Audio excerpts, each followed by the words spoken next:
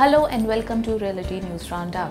Here are the top stories of the day. JP Infra, the developer of Yamuna Expressway, has sought permission from Yamuna Expressway Development Authority to securitize and sell the future income from toll collections to reduce its liabilities of over 8,212 crore in long-term debt. The board has referred the matter to the state government. Blackstone Group, GIC of Singapore and Brookfield Asset Management have filed slightly over $1 billion separate bids to acquire a 40% stake in DLF's commercial property unit that owns rent-yielding assets. The three heavyweight investors are among those who made offers as the deadline for filing bids ended last weekend.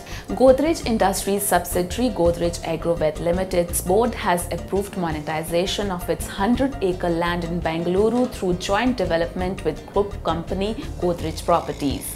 At present, Godrej Properties is developing residential, commercial and township projects spread over 120 million square feet in 12 cities. Maharashtra has allowed the use of plastic waste other than black plastic and PVC in building asphalt roads in the state. Every 100 kg of tar used to build asphalt roads will have 3 to 6 kg of plastic. The move will not only save asphalt but will also help reuse plastic waste to reduce soil pollution. Thank you for watching. For latest updates, follow us on Facebook, Twitter, YouTube and Instagram.